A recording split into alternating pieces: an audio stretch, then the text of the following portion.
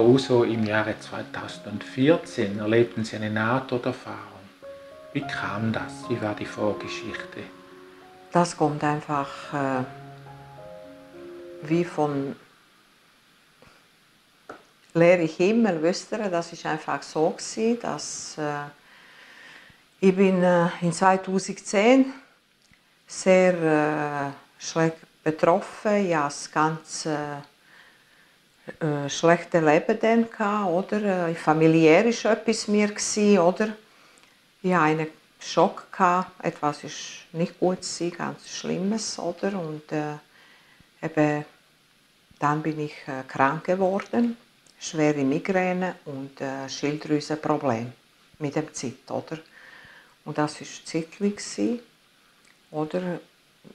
Ich habe es auch nicht gewusst, was ist los und alles, aber eben, wenn ich bin zu Arzt gegangen und er hat nachher gesagt, ja, sie haben ein Problem, große Probleme Schilddrüse und, und Migräne, oder? Ich musste gerne Tabletten nehmen, äh, Nasenspray fast jeden zweiten, dritten Morgen bin ich aufgestanden mit dem Schmerzen.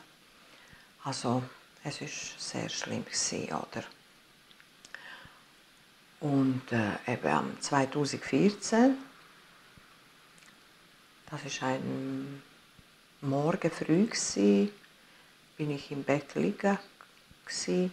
Mir es ganz schlecht, gewesen. ich wollte aufstehen.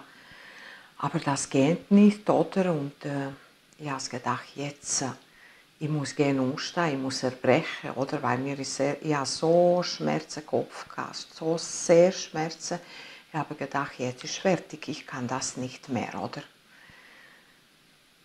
Ich habe es versucht, keine Chance. Ich konnte nicht aufstehen.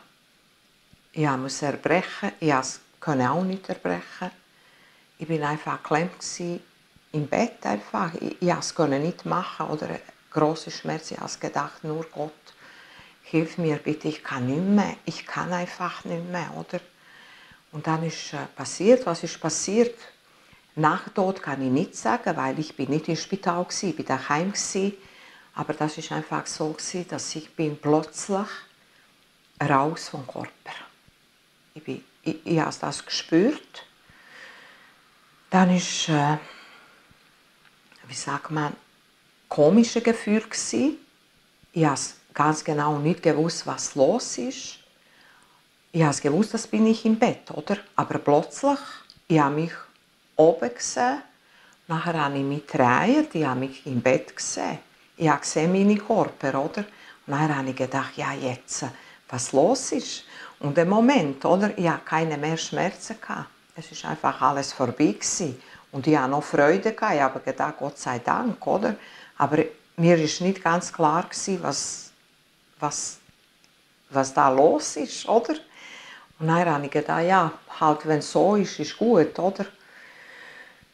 Und der nächste Moment war, bin ich ganz, ganz stark äh, gezogen. Wisst ihr, so wie in einer Rutschbahn.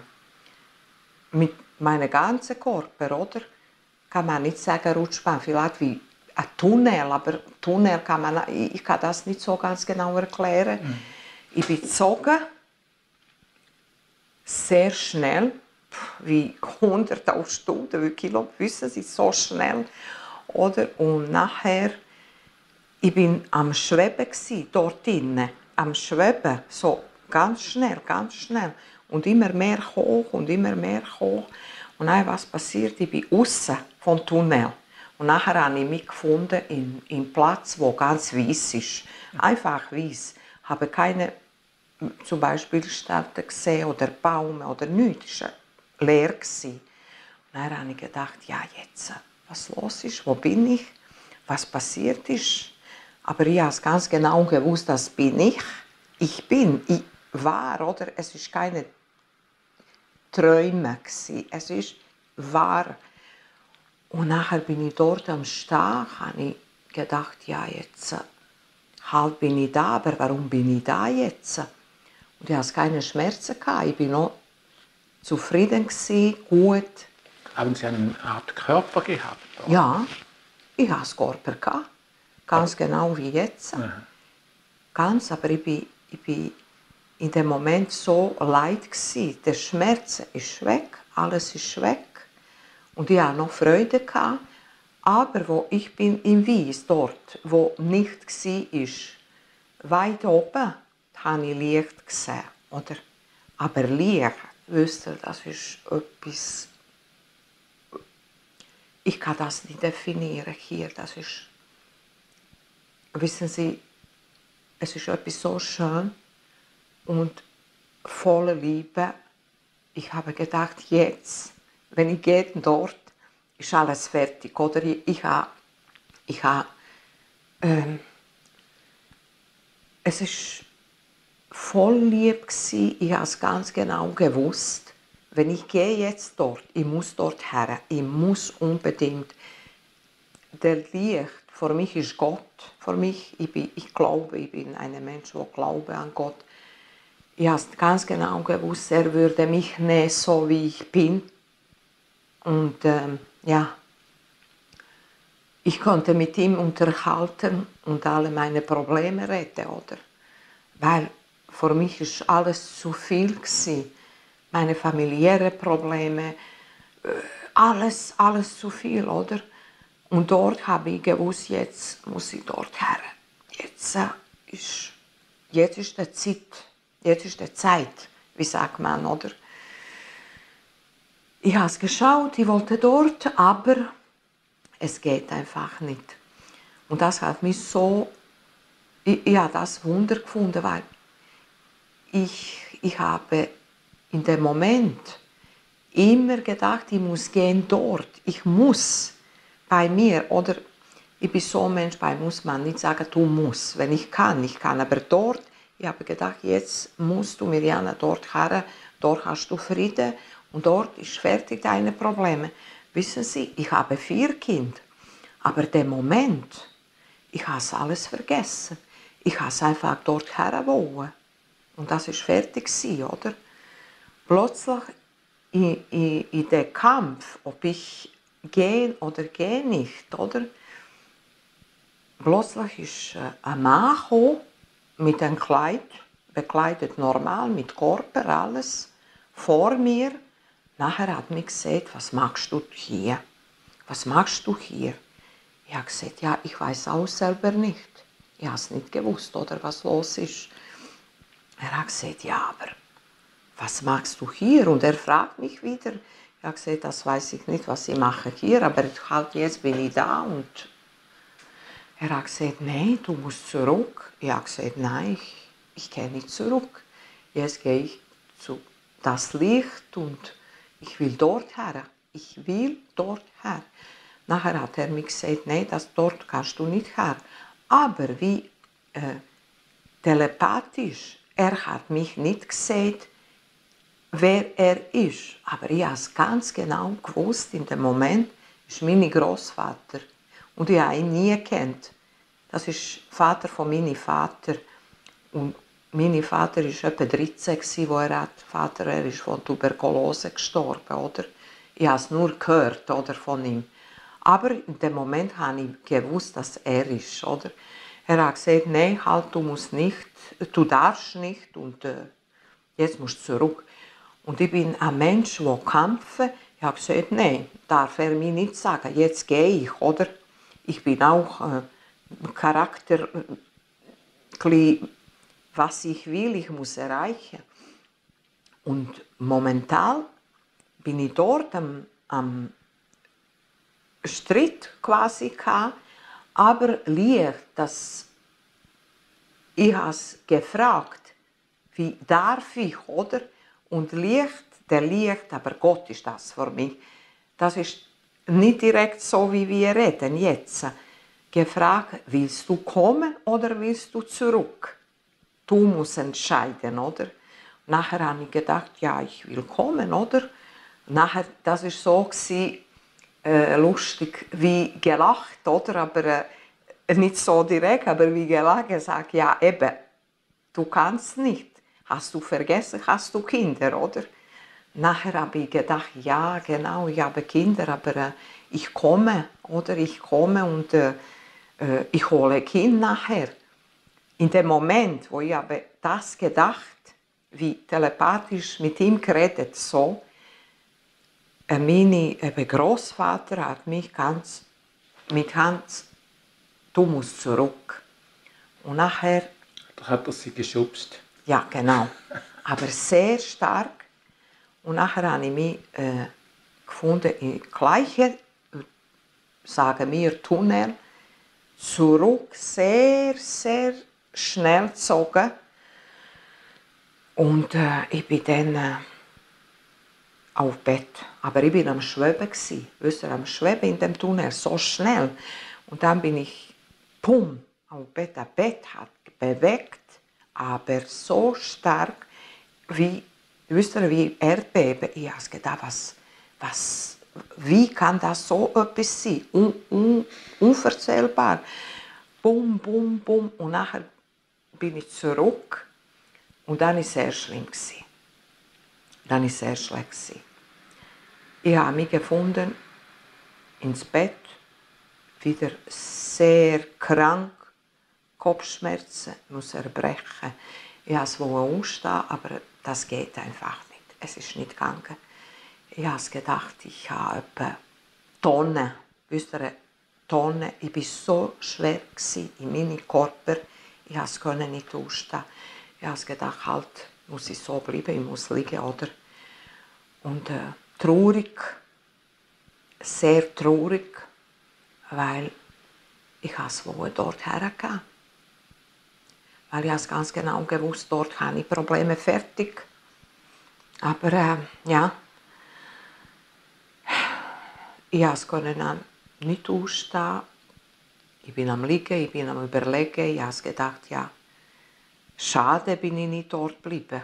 Aber äh, ja schade, es ist nicht gegangen, oder? Jetzt, das ist Entscheid. Einfach, ich denke, Gott entscheidet, dass jetzt musst du zurück und fertig. Es geht nicht. Da kann ich, ich, ich dürfte dort, ich dürfte und ich könnte nicht kommandieren. Ich bin ein Mensch, der, äh, wisst ihr, nicht kommandieren, aber was ich will, ich muss erreichen oder im Leben. Aber dort, das ist gegangen. Ja. Vielleicht noch einmal zurück zu Ihrem Großvater. Wie haben Sie ihn gesehen? Wie alt war er? Wie sah er in etwa aus? Ja, er war äh, sehr groß, weil äh, auch, auch mein Vater ist äh, groß oder von Größe her so um äh, 1 Meter sicher 90 mhm. groß Kleider so schön angekleidet. Einfach so normal. Vom Alter her? Ja, etwa vielleicht 40, 45. Mhm. 40, 45. Ja. Also nicht zu jung, nicht alt. Einfach normal so mhm. Mitte. Ja. ja. Was für Auswirkungen hatte diese Nahtoderfahrung auf ihr, auf ihr weiteres Leben? Äh, wissen Sie, Auswirkungen, äh, das ist, das ist eine gute Frage. Ich habe mich viel verändert. Ich war äh, sehr dominant. Das muss sein und das muss so sein. Das ist auch nicht mehr. Das ist weg, weil das Licht hat mir gesagt, es nutzt viele Sachen nicht, was du machst in deinem Leben da traurig oder äh, dominant gsi oder äh, ich, das muss so sein oder verstehen Sie, was ich meine? Und einfach ähm, Liebe, Liebe, weil wissen Sie, vom Charakter her bin ich nie böse gewesen. aber ich bin auch nie perfekt gewesen, bin ich auch heute nicht perfekt, aber ich habe viel, äh, viel können erfahren. Äh, das Licht hat mich gesagt, es nutzt nicht, es nutzt nicht, äh, wie sagt man, äh, traurig sein, es nutzt nicht dominant sein, es nutzt nicht böse sein, es nutzt gar nicht. Du musst nicht äh, sagen zum Beispiel, wenn Mensch sagen, nein, so ist und so und so und du tust dich weigern und sagen, ja, aber ich weiß es so und immer weitergehen. Zum Beispiel, wenn es ein Problem oder mhm. du musst einfach deine Worte sagen, ja und nein und ist fertig. Mhm. So, das ist das und äh, Liebe, Liebe einander, Liebe sehr, weil Mensch ist sehr wert. Mhm. Liebe Natur, alles, was Gott hat gemacht, oder? Und äh, was noch, bin ich nachdem nicht mehr krank, so wie ich war. Ab und zu habe ich Migräne, aber nicht so stark. Ich konnte erfahren, dass wir sind hier auf Erde so wie ein Besuch. Für mich ist das. Das ist eine Nachricht für mich. Dass alles, was wir entscheiden, wir sind nicht alleine. Mit uns ist immer eben das Lied, das liebe Lied, Gott, das ist Gott für mich. Er ist dabei und das äh, ist nicht fertig. Verstehen Sie? Dann haben Sie keine Angst mehr vor dem Tod. Nein, überhaupt nichts. Nein ich habe keine Angst vor dem Tod, weil es ist nicht tot. Tod, es ist keine fertig. Tod existiert nichts. Mhm. Mhm. Überhaupt nicht. Ich weiß nicht, wie ich kann das definieren. Tod existiert nicht, weil meine Erfahrung ist äh, etwas, wo ist wahr. Es ist keine Träume gewesen. Es ist Wahrheit. Das ist ich bin gsi, so wie jetzt, aber wie jetzt mit Körper, dort schon. Aber viel leiter, gemütlich. Ich habe so Liebe gespürt von Liebe Gott. Ohne Probleme, ohne Schmerzen. Und ich denke, für mich ist einfach sehr wichtig zu sagen, dass dort existiert nicht. Mhm. Nein, ist unmöglich. Also hat sich Ihre Sensibilität nach der NATO-Erfahrung verändert? Nach all der Erfahrung. Ich kann viel wissen, verstehen Sie? Wissen, was bedeutet Wissen? Es ist schwer zu definieren oder sagen, aber Wissen bedeutet, früher, was ich aber nicht gewusst, jetzt weiß ich viel besser, ich kann viel besser Menschen fühlen, ich kann auch Menschen helfen, verstehen Sie? Helfen und ich will helfen. Es gibt bestimmte Person, Personen, zum Beispiel mich telefonieren und sagen, ja, look, ich habe ein Problem oder das, oder äh, kannst du mich helfen? Ich kann viel machen, oder? Dafür. Äh, eben ein Beispiel, ich habe eine Kollegin und nachher hat sie mich telefoniert und gesagt, ja, weißt du, meine Tochter hat ganz etwas äh, Schlimmes auf Hand, das ist ganz äh, rot und wir sind bei Arzt gewesen, und er hat gesagt, ja, das ist Hautkrebs und äh, es ist gar nicht gut, oder? Und sie war am Weinen, gewesen, mich telefoniert und so, nachher habe ich gesagt, ja, aber äh, nein, das kann einfach nicht sein, oder? Ich habe gewusst, das ist nicht etwas Schlimmes. Ich habe gesagt, nein, sie muss einfach äh, gehen zu einem Hautarzt, andere, und äh, er würde das gesehen und sie bestimmte Creme geben und dann alles gut ist. Du musst dir keine Sorge machen. Und das ist einfach so gewesen. Nach drei Tagen hat sie mich telefoniert. Sie hat du hast recht. Es ist es so. Oder? Eben, das ist das. Oder? Alles zu Gutem. Oder so wie wir denken, so kommt. Und ich denke, das ist sehr wichtig. Positiv denken, glauben und äh, helfen Menschen. Im Positives, oder? Mhm. Helfen. Weil wir Menschen, jeder braucht Liebe, helfen und nicht böse sein. Das ist sehr wichtig. Frau Uso, herzlichen Dank für das Gespräch. Danke Ihnen auch.